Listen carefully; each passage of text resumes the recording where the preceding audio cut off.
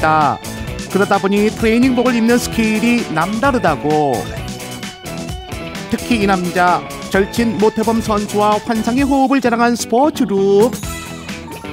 그래서 준비했다 커플 트레이닝복. 그런데 이건 뭐지? 왜 보는 내내 이렇게 손발이 오그라들지? 대체 뭐가 잘못된 거지? 돌아다닐 수 있어요? 아니요, 좀 창피할 것 같아요. 너무 똑같아요. 너무 똑같으니까. 제가 보기에도 나쁘지는 않은데 아무래도 요즘 트렌드가 또 다른 컬러라고 하니까 거기에 맞게 입는 게 더 좋을 것 같아요. 좀 요즘 트렌드에 맞는 similar look으로 한번 연출을 해보도록 하겠습니다.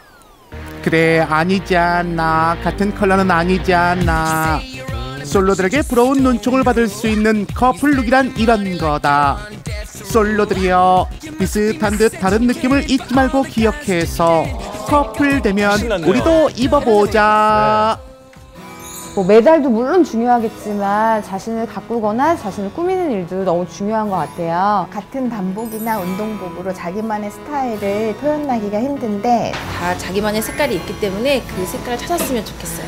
네, 안녕하세요. 이상아입니다. 네, 어, 응원해 주시느라 고생 많으셨고요. 네, 그 구독, 그 응원 때문에 저도 이렇게 잘한 것 같아요. 네, 감사합니다.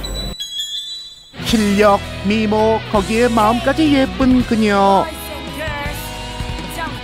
모든 것에 노력하는 당신이야말로 진정한 미인